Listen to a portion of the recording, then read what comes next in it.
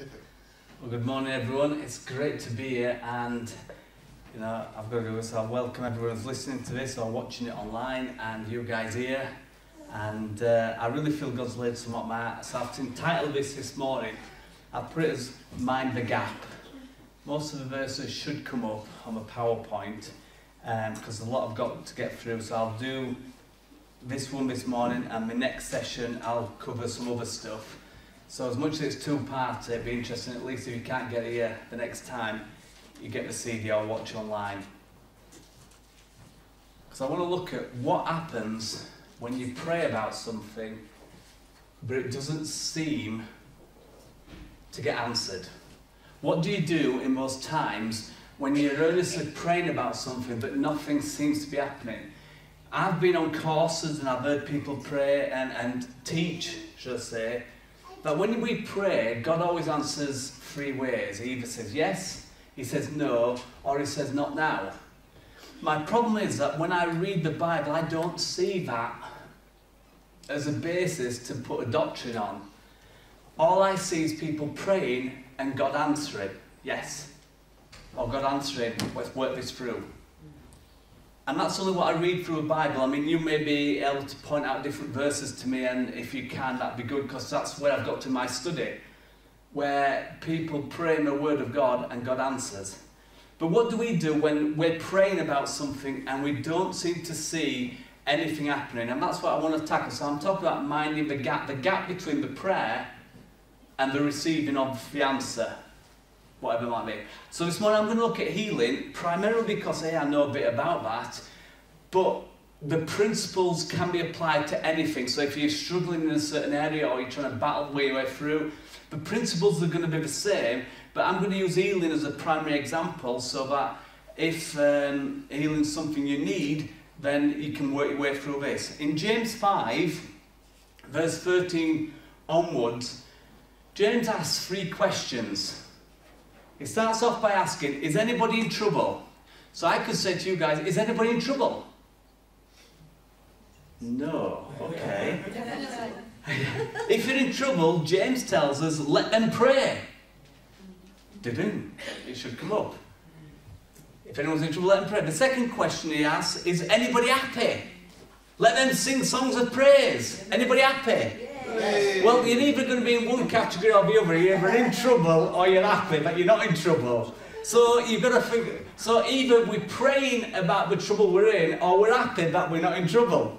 And if you're not, if you're happy that you're not in trouble or happy, let him sing songs of praise. But then he asks a third question. He says, "Is anybody sick?"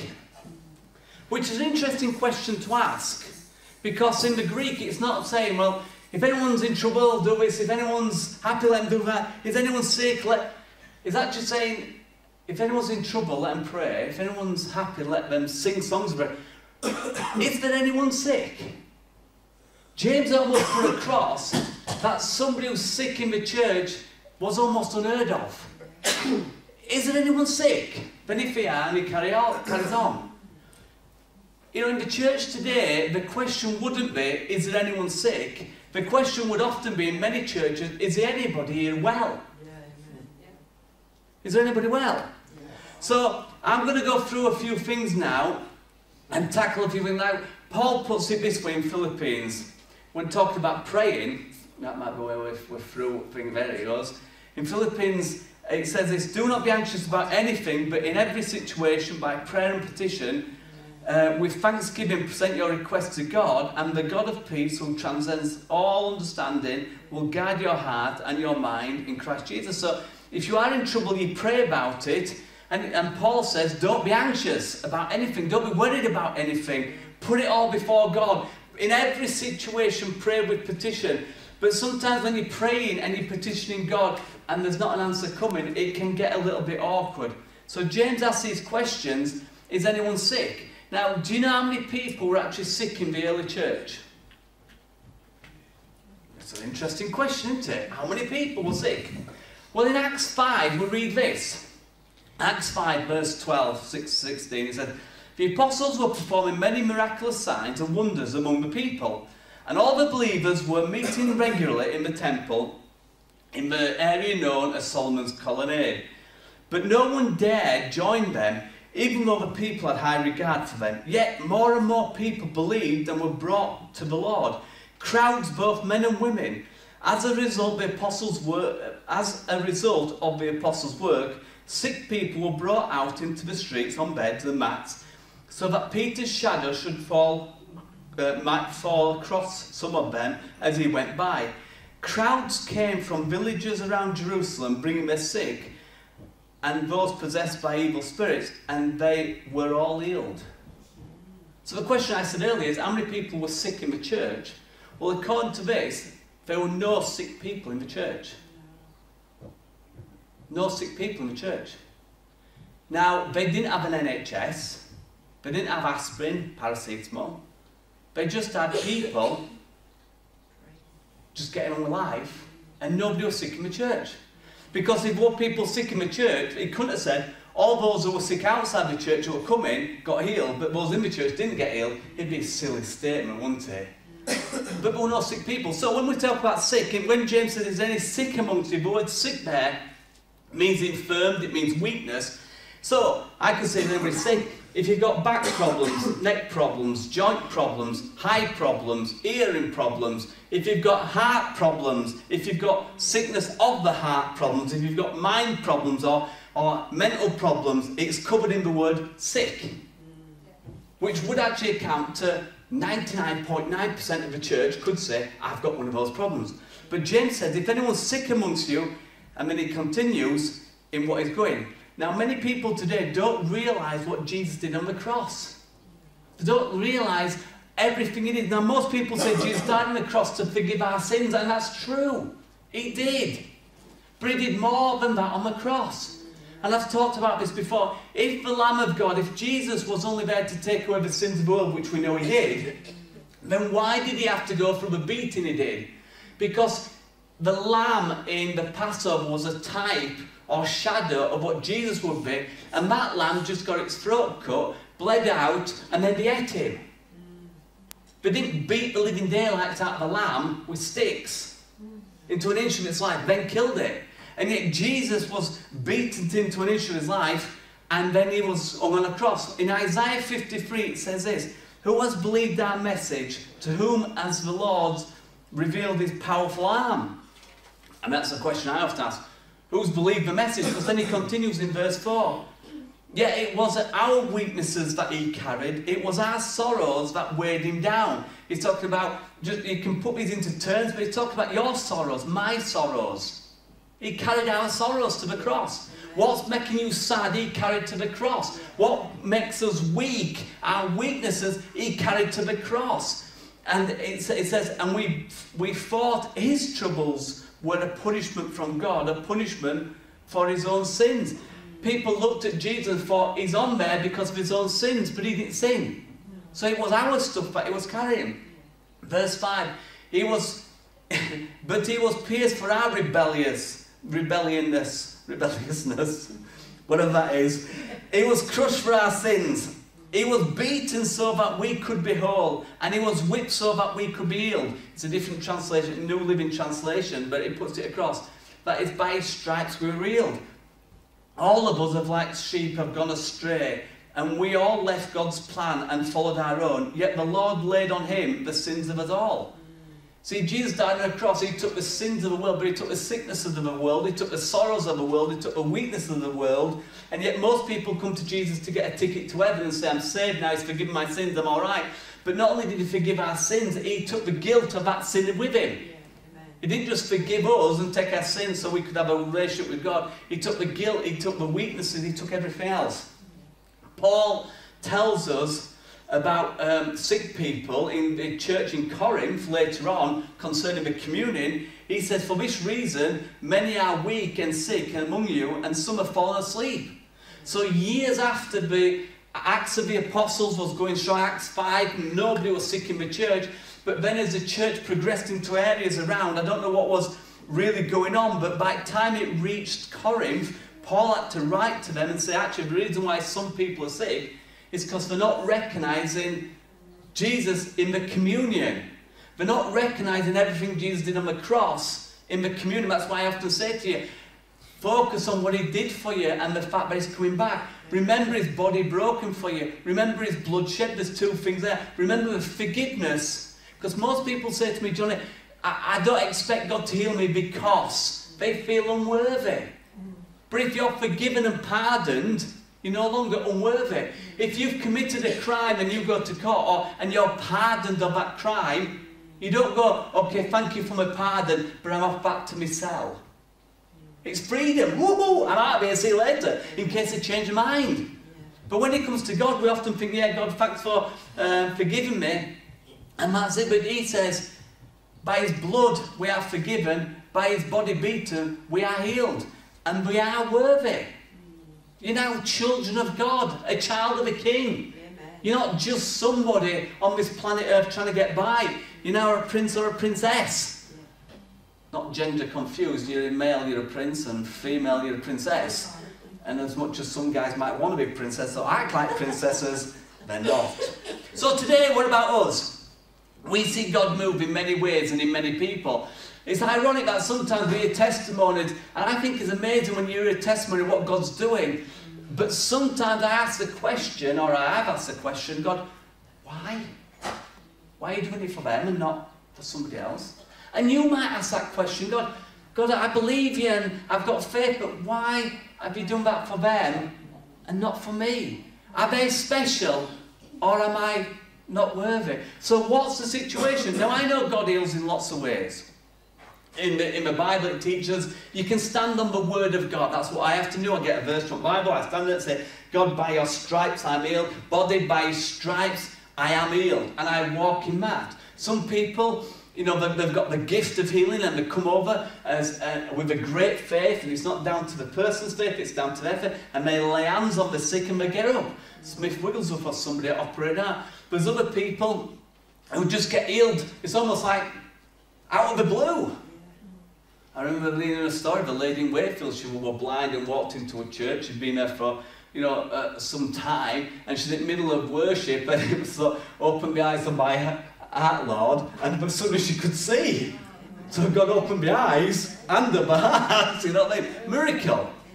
So God uses different things. He, he, he said he sent his word and healed them. He speaks promises. And these are all things that we can tap into. So back to uh, James. James 5 and verse 14. He said, If anyone's sick amongst you, let him call upon the elders of the church to pray over them and anoint them with oil in the name of the Lord. And this is interesting. I've seen some anointments going on and some oiling down of people. But it's not about the amount of oil that you get put on your head. It's just about the fact it's symbolic of the Holy Spirit. And verse 15 says, And the prayer offered in faith will make the sick person well, and the Lord will raise him up, and if he has sinned, he will be forgiven. I don't know if you notice there, if you look up there, it just says, and the prayer offered in faith will. Yeah. It will. It's not, it might, it will. Yeah. Will make the sick person well. And the Lord will rise him up, raise him up. And if he has sinned, they will be forgiven. Amen. Now, I'm not saying all sicknesses is because of sin, but sin can often open a door in our lives for sickness. Now, as much as we're forgiven, if we're not tapping into the fact that we're forgiven, that we're walking under the blessings of God, and we keep going into certain areas and committing certain sins, and you get sick, then sometimes what's the door opened? There's lots of sicknesses that are due direct from sickness, and the Bible actually does teach us and tell us that there's certain sins that actually, when you commit them, are sinning against your own body. Sexual sins in particular, you sin against your own body. So, not all sin leads to sickness, and not all sicknesses are because of sin, but it can be. But we'll look at that probably next time. Verse 16 Therefore, confess your sins to each other and pray to each other that you may be healed. I love James because Paul's talking to the churches and James is talking to the people in the churches. And James don't look around. We looked at this before. James, this is a brother of Jesus, his, his uh, next brother down and uh, he knew Jesus growing up and he didn't really like him and tried to take charge of him but obviously got saved at some point became a leader in the church and he wrote this and he doesn't mix his punches. If you ever want to if you really want to get encouraged read the book of James and then start repenting and wondering what's going on and read it again and do it again. You know, it's kind of punching in the face. It's not Romans 8, is it? God loves us and unconditional, all that. It's not a real blessing. James just slaps you around the face a few times and tells you to get over it. And he says, Therefore, confess your sins. The word confess there means to speak them out. Now, I don't want you telling me all your sins but in principle, what it's talking about here is not that we sit in a booth and you come and confess your sins. It's saying that, guys, I've messed up in this area, please pray for me. And it says this pray for each other so that you may be healed. Pray for one another. On the one hand, come to the elders, but on the other hand, talk to each other. And the word confess often means to agree and to say the same as. To say the same as. If you look at 1 John 1 verse 9, it says, uh, if we confess our sins, he is faithful and just. The word confess says homologeo, which means to say the same as what God says about your sin. What's God say about your sin? It's on the cross. Yeah. What's God say about your forgiveness? It's already happened. What's God saying about the condition of your heart? Before God, you're perfect. Yeah. Not because your condition of your spirit. You're perfect and blameless. He says, therefore, confess your sins and your sins to each other. Like I said, you have to go run through them. Guys, I'm not, you know, if you've nicked the last piece of cake in there, I need to know. Especially if I've not had one. But I don't need to know your internet browsing history. if that's a problem to you, you know. And it says this, the prayer of a righteous person is powerful and effective. Do we have any righteous people in here? Yes. There's a lot of, um, I think I am.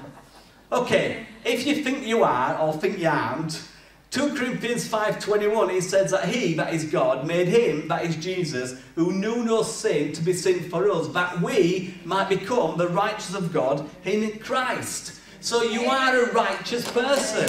So back into James a little bit, it says the prayer of a righteous person, your prayer, is powerful and effective.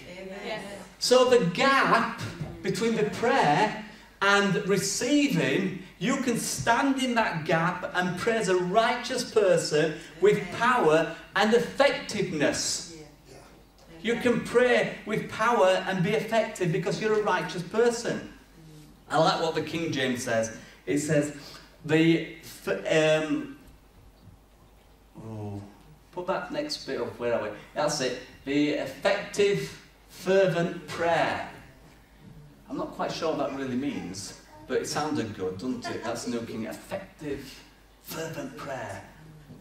I like the word earnest, which is like the earnest prayer of a righteous person has great power and produces wonderful results. That's the, the New Living Translation. I like, I like that version. So the earnest prayers, your prayers of a righteous person, have great power.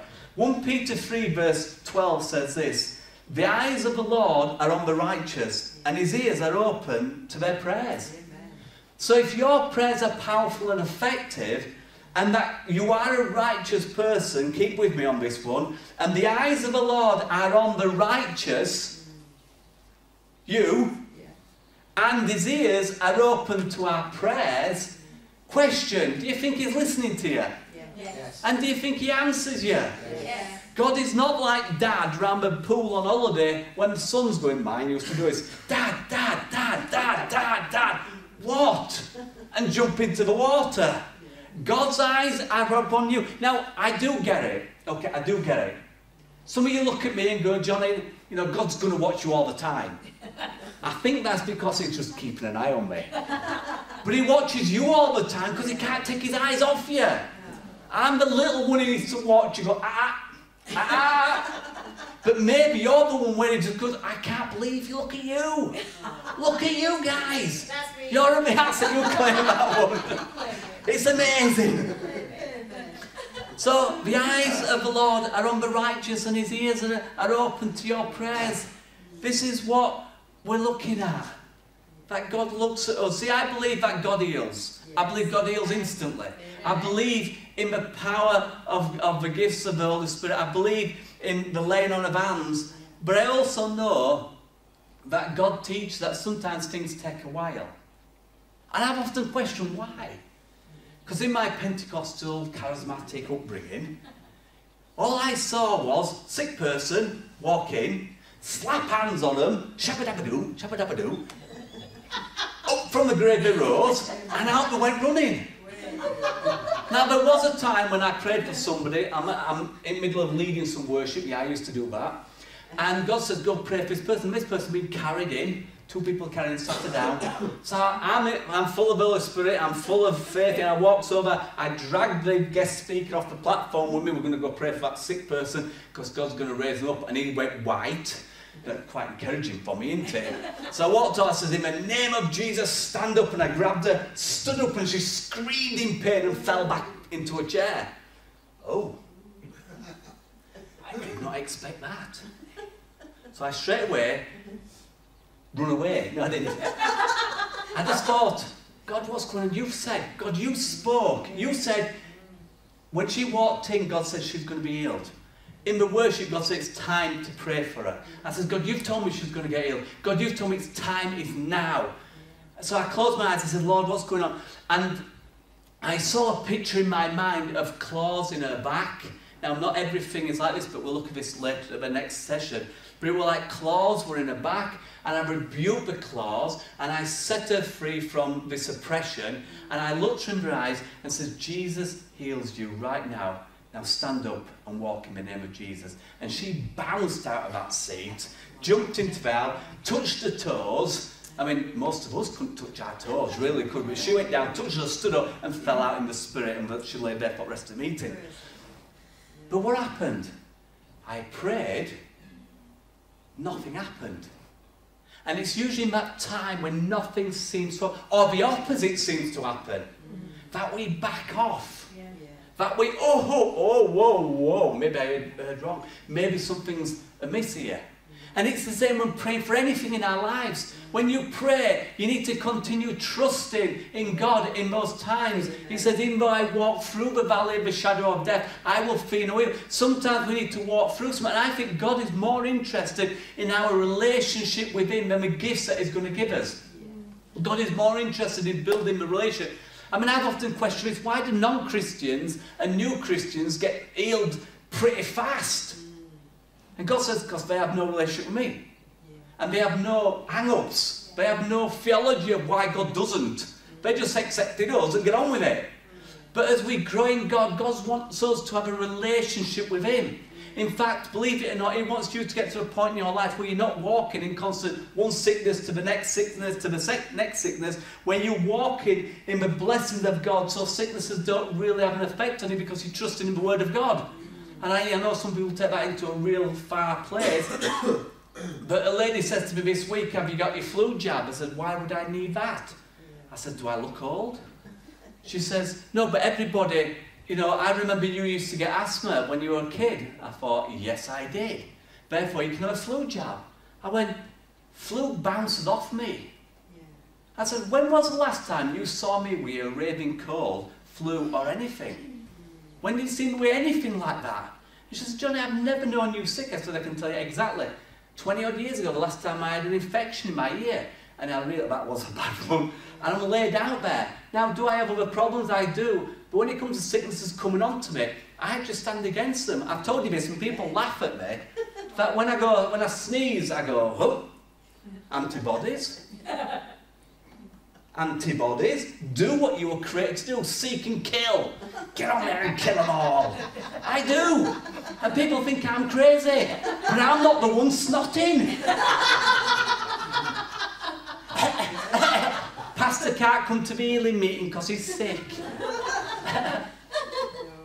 you think I'm mad? Try it. You're good. Somebody's going to go, mm, try that probably. I've got other things I need to sort out. So the earnest prayers of a righteous person are great, have great power, and produce wonderful results. I love that. then he continues back to James 5, verse 17. So in the context of praying and healing, he said Elijah was a human being, even as we are. He prayed earnestly that it would not rain, and it did not rain on the land for three and a half years. Again he prayed, and the heavens gave rain, and the earth produced its crops. Now, would you compare yourself with Elijah? No! Elijah! Elijah! Is over. But James says, look at Elijah as an example to you. Now, Elijah had the Holy Spirit upon him. We have the Holy Spirit in us. The Holy Spirit would, could leave Elijah. The Holy Spirit has promised he'll never leave us. So in one thing, he was looking forward to what we have. Moses was looking forward to what we have. And we're going, we're not worthy. But he said, look at Elijah. Elijah, sorry. James tells us that Elijah is an example to us about earnest prayer. Now, the last time I checked Elijah's life, everything seems to happen straight away for him. But according to um, James, he said, look at him in regards to earnest prayer. So, shall we? Look at him. Kings. 1 Kings, Eli, uh, 1 Kings 17. It says this. And there we are, somewhere. And Elijah, the, the guy from there, the inhabitants of that place, said to Ahab, who happened to be king, so this is Elijah just pops on the scene. He's no history, he just pops up. Oh, here I am. And he says to the king, As the Lord God of Israel lives, before whom I stand, there shall be no dew or rain three years except by my word. I mean, that's a pretty bold statement, is that, isn't it? That's like in your face, king. But he says this the Lord God of Israel, before whom I stand. He had a relationship with God that gave him a boldness, that gave him a tenacity, that gave him a bit of bite, when he could go to the ruling power and say, It ain't going to rain in this place again. And it's like somebody walking up to the Prime Minister or somebody in Parliament going, This is what's going to happen. I've changed mind about the Christmas meal, by the way, Phil. We're, gonna have, we're not going to have a Christmas meal, we're going to have a Brexit meal. Oh, no. it's the same as a Christian, it's the same as a Christian meal, but we have the Brussels.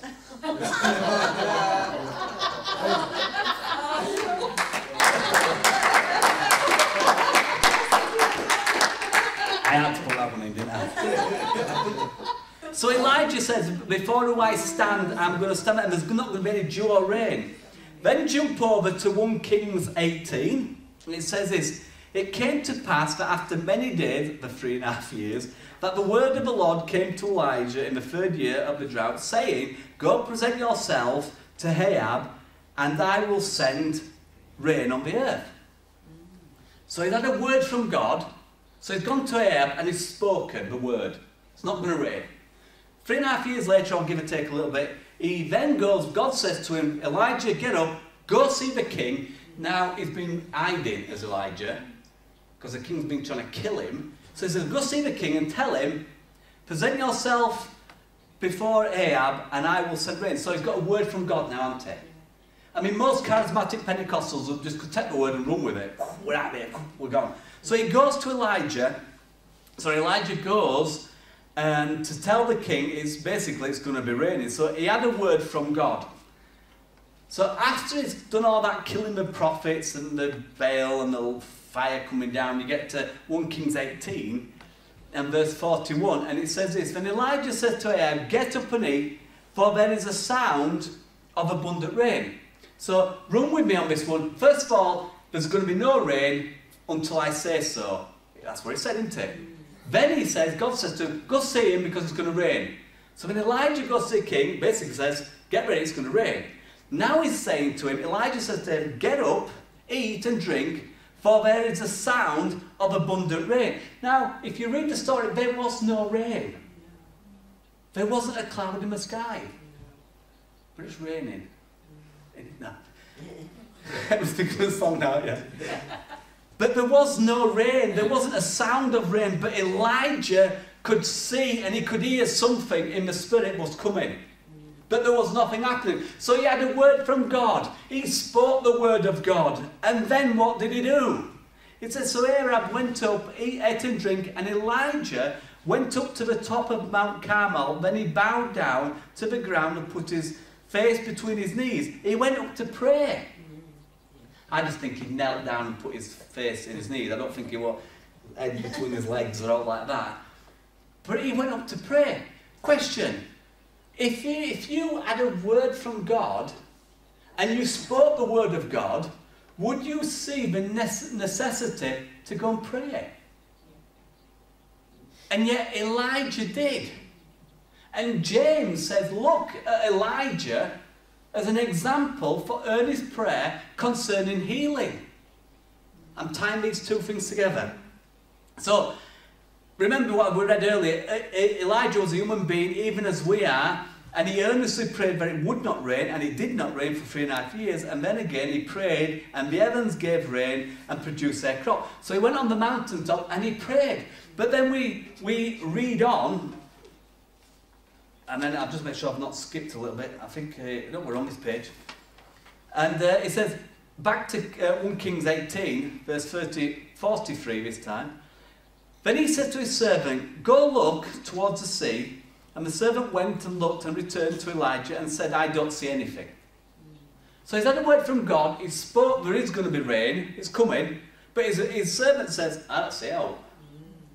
If you've prayed for somebody and he said, believe and trust God, how are you doing? No, it's no better. Mm. It's no better. I feel as bad as what I did two minutes ago. Mm. In fact, now I feel worse. Mm. Because God's, uh, and they're going to this whole drama about the fact that why has God not done it?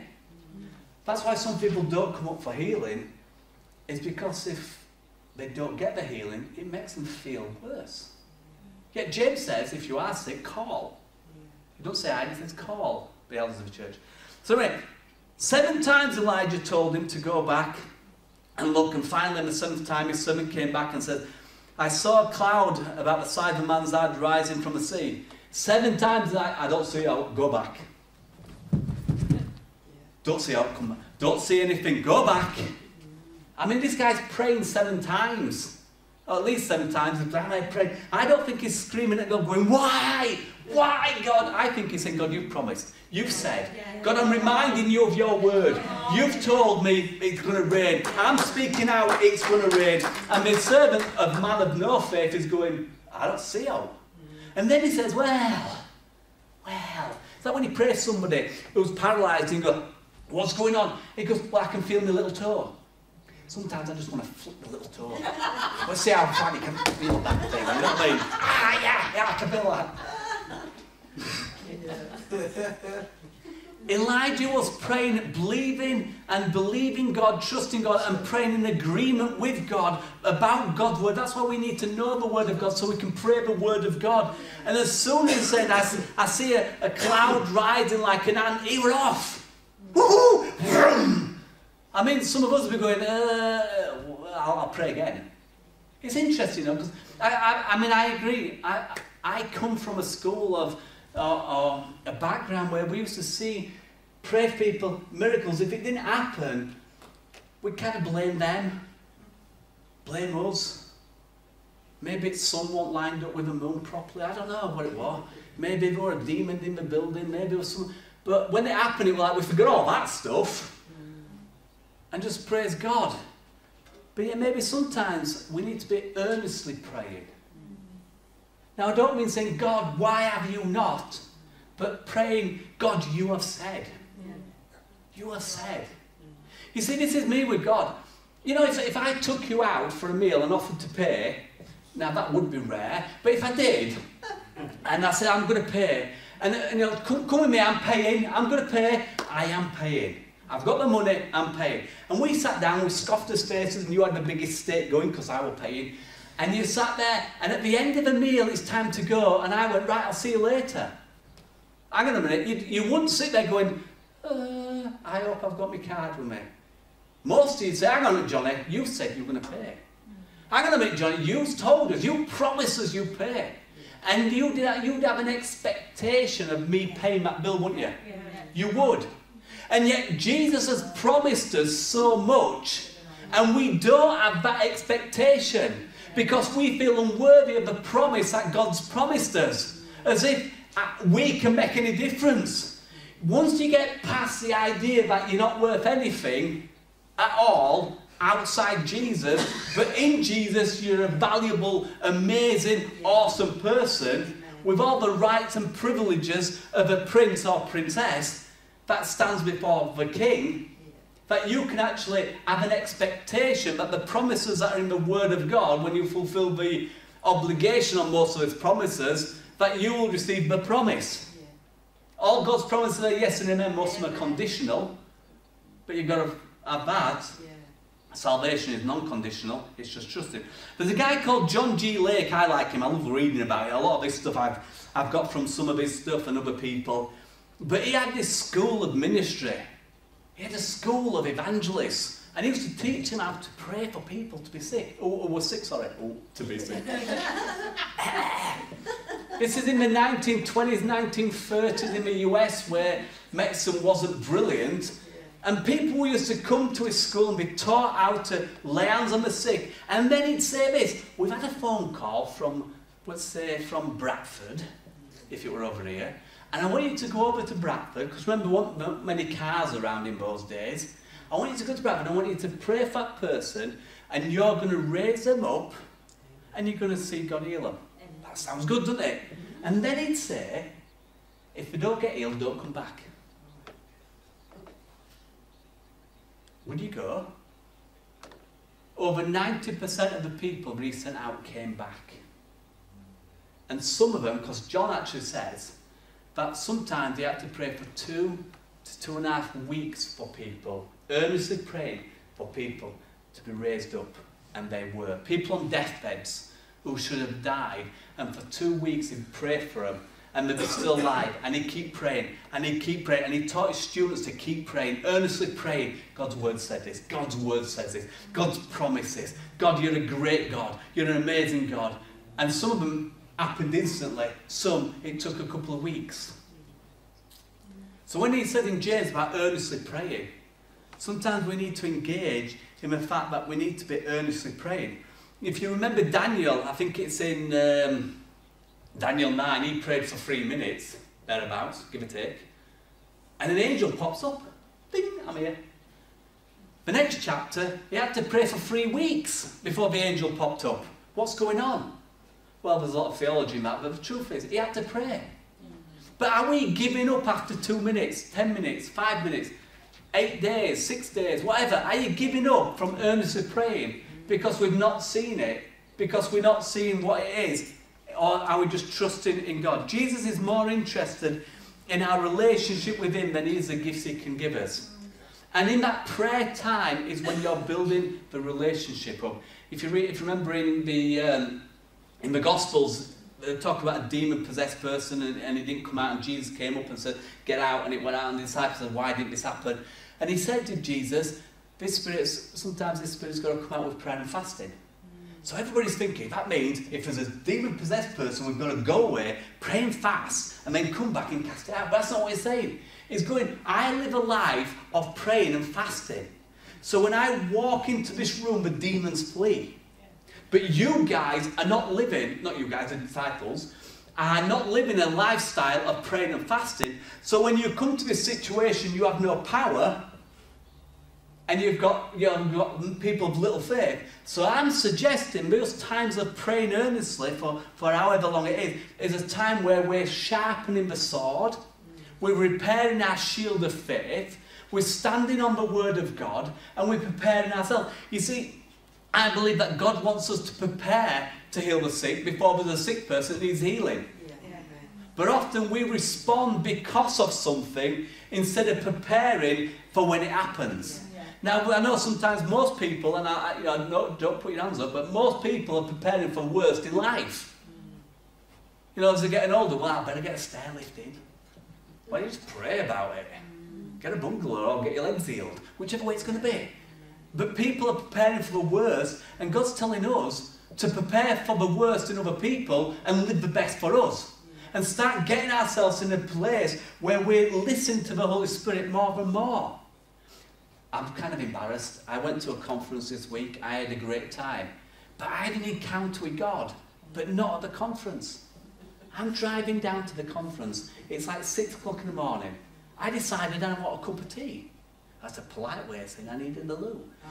So I nips to the loo. And so I locked myself in a little booth there. And the Holy Spirit turned up. I'm sat there. And God turned up. And it's like, God in here! In the loo!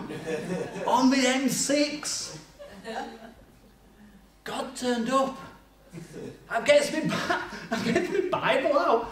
I'm reading bits, and God's presence is there in the toilets at services on the M6. That was more of an encounter than a conference I went to. But it was amazing. Why? Because I just spent two hours going around Manchester and down the M6 just talking to God. Not whining at him, complaining. I, ask, I, I often do it. I said, God, how are you doing? How are you doing? I was like, I the planet going? I think sometimes it says, you know, planet's doing all right, but my kids are messing it up. You know what I mean? You know, it talks in, in the Psalms about how Israel limited God by their unbelief. It talks about how Jesus couldn't do amazing miracles because of their unbelief. And maybe one of the reasons we're not seeing everything happen in our lives is because when we're in the gap between the praying and receiving, we're allowing unbelief, doubt to come in there. I'm just going to spend a couple of minutes, I'll cut this short and I'll carry on later on. You know, this is all in the context of praying for each other that we may be uh, healed. Praying for one another that we may be healed. You know, we need to pray earnestly for one another. Sometimes it's an immediate, let's pray for you now. But then say, I'm going to pray with you. I'm going to pray for you. We're going to see things happen. Mark 11, 23. It says this, um, NIV version. Truly I tell you, if anyone says to this mountain, go throw yourselves into the sea, and does not doubt in his heart, but believes what he has said will happen, it will be done for them. He says it. I got into trouble once. Someone said, Are you saying this? Because I'm not saying anything, I'm just reading the verse. Now, your mountain in your life might be oppression, it might be a sickness, it might be a problem, it might be some at work, it might be whatever it might be. But if anyone says to the mountain, see, often we're telling God about our problems, and God's going, I know about your problems, start speaking to it yourself. Yeah. Start telling the problem what my word says and start acting upon it. But it says, and does not doubt in his heart. And I think that between the gap of praying and receiving, we need to guard our hearts so that doubt doesn't, in, doesn't come into that area. That we don't allow fear. I think the reason why Peter started to sink, and that does make me laugh when he got out of the boat and started walking on the sea, he said he saw the wind and the waves. I mean, if it were perfectly flat, do you think he could walk on it? The wind and the waves had nothing to do with the fact that he was walking on the water. The problem was he saw the wind and the waves, start to doubt the fact, why the heck am I doing this?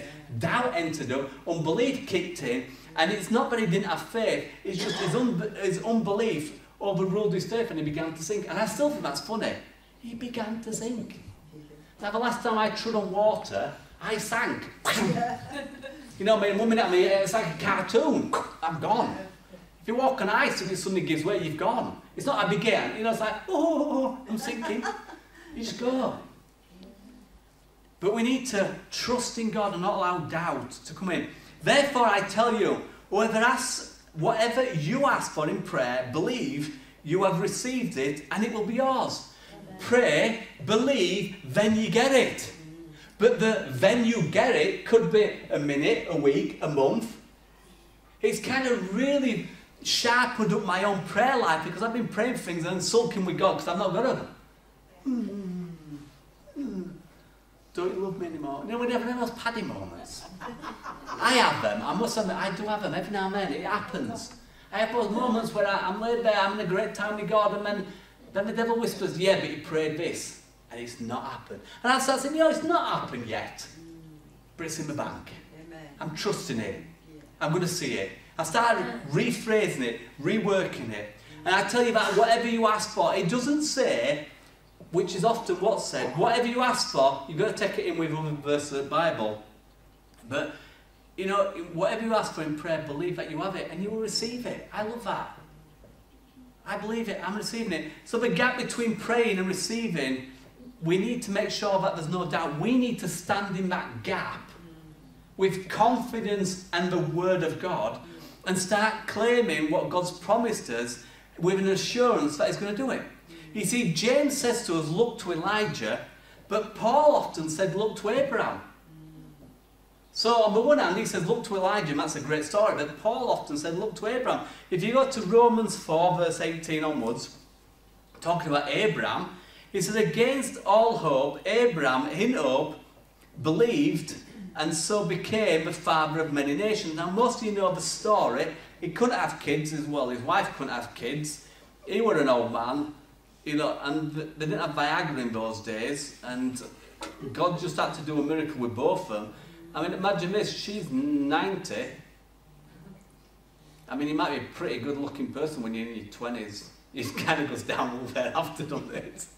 That's why you need to fall in love when you're in your 20s, for, because then you see past the outward. See the heart. I better dig myself out of that olive Jordan here. So, uh, he became the father of them just as it had been said to him. He held on to the promise from the word of God, so shall your offspring be. Without uh, weakening in his face, in the faith, he faced the fact that his body was as good as dead. Don't deny the problems. Don't deny the facts. But acknowledge the truths. Facts are facts, they're there. You've lost your job. I've not lost my job, I've not lost your job. No, it's a fact you've lost your job. But acknowledge the truth that God might have something better for you in the future. Without weakening in his face, he faced the fact that his body was as good as dead. Since he was about 100 years old, he got it pretty good there. And Sarah's womb uh, was also dead. Yet he did not waver through unbelief regarding the promise of God. He didn't allow doubt and unbelief to come in. He stood in faith. Faith and doubt can run parallel. You know that, don't you? Faith and unbelief, belief and unbelief can run parallel. You know, Lord, I believe, but help my unbelief. And you've got to choose, am I going to listen to the doubts or am I going to listen to the facts, uh, sorry, the truth of the Word of God? And he says, but he was strengthened in his faith. Whoa, things are not going so good. But he was strengthening it. The longer it took, he just got stronger and stronger in his faith. Let's face it, it's something that happened after three days, most of us have forgot about it and packed in and gone somewhere else. And yet, years it took this, not weeks, 20 odd years. And he said, He was strengthened in his faith and gave glory to God, being fully persuaded that God had the power to do all that He promised. He was fully persuaded. Are you fully persuaded about the Word of God? Are you fully persuaded that God, who has promised, is able to do what He promised He'd do? It's not like a parent. My dad used to promise me all sorts, and half of them I never got, and other half he took back. But God says that if He promises it, He promises it. That's it. Are you persuaded like Abraham that he has a power? Philippians, we read this earlier. Do not be anxious for anything, but in everything, every situation, by prayer and petition, with thanksgiving, present your request to God. Many people are praying, hoping God might do something. They pray, hoping. Instead of praying in faith, standing in the gap and saying, God, it's not happened today. I thank God. I, I sometimes ask God, because how was that situation going on, God? I could do with it soon. I know you're working it out, but how's it going? Because you've said to me, God, this, and I'm believing and trusting you. Yeah. How's it going? I remind him. Yeah. Kids don't have a problem with that. If you've told a kid you're going to give them some sweets, they're going to remind you every 10 minutes till they'll get them. They're not bothered. They'll keep going at you and at you and at you. And eventually you say, shut up and just give them sweets. we are children of God. And we're not there to annoy God. But I think God loves it when we remind him what he said. When we tell him what he said. We need to pray standing on the promise of his word. Being fully persuaded that God had the power to do everything that he promised. And one more verse and I'm packing it in because I've gone over a little bit. You see, I stand on some verses in the Bible. There's many that I stand on, and there's loads that I love. And I've just put some on Rock Church uh, about different verses. But one of the verses that I stand on is Psalm 103. Psalm 103 says this Praise the Lord, O my soul, and in my inmost beings praise his holy name. Praise the Lord, O my soul, and not forget his benefits. My job, our job, I'll put it back to me, my job is to praise the Lord with all my soul, in my innermost beings, keep praising and thanking Him. That's my job. and not forgetting everything He's promised, His benefits. That's my job. Now let's look at God's job. This is for me, who forgives all my sins, all your sins, all my heals all my diseases, and redeems my life from the pit, and crowns my life with love and compassion, and satisfies my desires with good things, that my youth is renewed like the eagle. I personalise that one. That's God's promises to me. My job is to praise Him, thank Him, and trust Him, and don't forget His benefits. Is is to give me the benefits. You see the two sides of this. So I praise and thank Him, and I trust Him. That's why I don't get sick because He heals all my diseases. That's why I'm not going to go to the pit of hell because He's going to rise me up. I'm going to go to heaven. But He has crowned me with love and compassion. That's an interesting one. God's expanding my heart. I'm kind of getting a bit crazy and, and finding I've got compassion for people I never would have. And God's just giving me compassion for them. And He satisfies our desires with good things. Amen. I've got some pretty good desires. I have. But my desires are, lined up with His desires. And I'm seeing the desires of my heart being fulfilled. That my youth is renewed like an eagle. I'm not on Red Bull. I'm not on tablets. I'm just sometimes when I get preached, I get happy. I just want to bounce around. And I just get happy. And I think sometimes I'm like a five year old. But my youth has been renewed like the eagles. Now, I don't really understand that whole concept, but it sounds pretty good. But I'm going to be as energized as anything. I know that as we get old, we're supposed to get old and we're supposed to, everything's supposed to pack in. But that's not what the Bible says. The Bible said we can be young and vibrant. Do you think when God touched Sarah's life, and opened up her womb, I believe that God gave something to Sarah that just didn't affect her womb, it affected her face and her body. He says you'll be daughters of Sarah. Trusting in God. I don't think women want to be look like a 90 year old grandmother, a 99, whatever. They want to look like someone young and vibrant. And I think that truly that God gave something not just in her womb, but I mean, Abraham, he must have looked one day and, whoa, baby. if something's got to happen in Abraham's life, you know what's got to happen? He's got to look at somebody and go, whoa. He trusted God and he didn't change. He knew God was going to do something. And one day he looked at his wife and he knew God had done something. and then later on Isaac came along. Have you never read this stuff in the Bible? I mean, imagine Sarah going to a toddler group. Is, it, is this your grandkid? Is it your grand, great grand? God just did something. Why was. Think about this. Why did kings want to marry her? I mean, nobody wanted to marry my gran. So she must have had something about her. But he trusted God. Now, he satisfies our desires with good things and he renews our youth like eagle.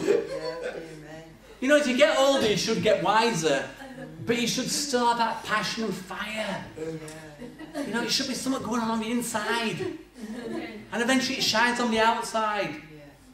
Therefore, I say unto this is a King James version, literally King James. Therefore, I say unto you, the things soever ye desire, ye pray, because that ye receive them, you shall have them. But it's the word, whatever things you so desire. When you pray, when you pray, what do I desire? All my needs, God has already got lined up for me. His word has promised that He will supply all my needs. All my needs. Then He talks about our desires. What do you want? Now you need to line your desires up with what God's got for you and see God move.